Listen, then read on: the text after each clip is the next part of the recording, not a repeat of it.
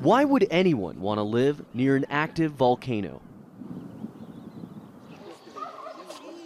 For many of the residents of San Pedro Benito Juarez, a small town nestled at the foot of Mexico's Popocatépetl volcano, it's the only way of life they know.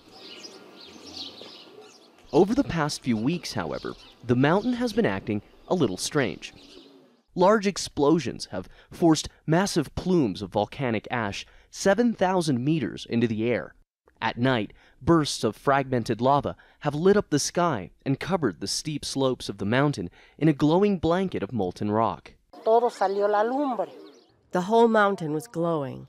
Then the forest caught fire.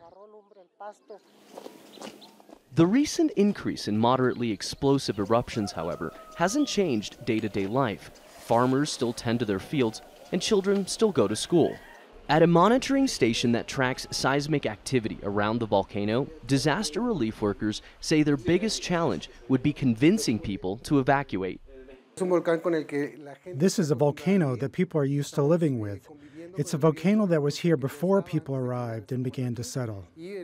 Mexico's Popocatépetl ranks among the most dangerous volcanoes in the world, not because of its potential for explosive eruptions, but because of how many people choose to live so close to the mountain.